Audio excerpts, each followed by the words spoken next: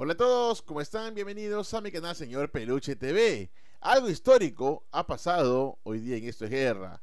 Nunca se ha visto, nunca se ha visto pues eh, que conduzcan cuatro personas y hoy han presentado a las cuatro personas, así como me oyen, cuatro personas que van a conducir este reality que cumple 12 años. Estamos hablando de Renzo Schuller, de Katia Palma, de Joana San Miguel y de Cristian Rivero, este último que ha trabajado bastante tiempo en Latina y que parecía que se iba a jubilar ahí.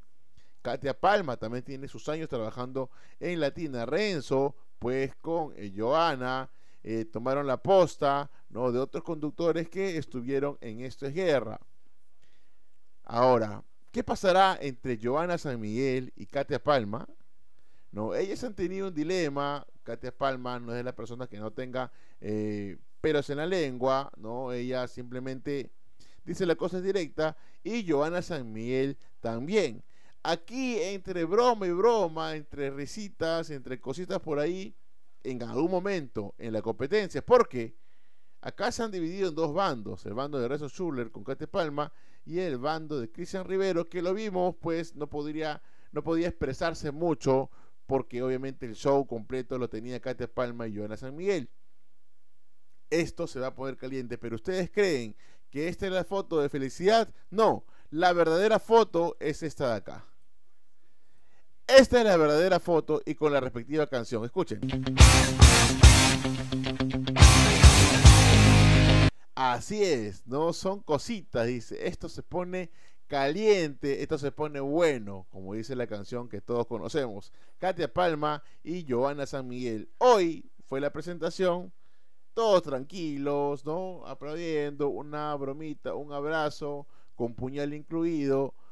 Pero yo quiero verlas en competencia.